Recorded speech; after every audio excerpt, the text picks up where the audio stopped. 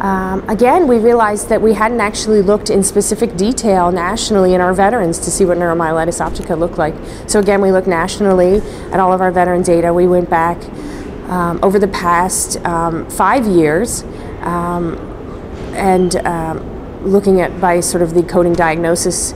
Um, we obviously got several hits on the coding diagnosis when people were considering it, but then when we you know, looked at every single veteran, um, came up with a, a, little over 50 veterans um, carrying the diagnosis in, the VA system. And the reason we did this uh, was that a, a, couple reasons. One, we wanted to know um, what did neuromyelitis optica look like? Did we fall in line with what we expect the rate to be nationally?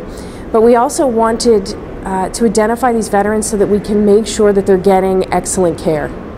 And so obviously the first step was to know where they are and, and what do they look like and what are their needs. And the next step is going to be um, similar to our MS Centers of Excellence in the VA, the next step will be okay, let's make sure that we are giving you everything we have to offer. We want you to know we're here too.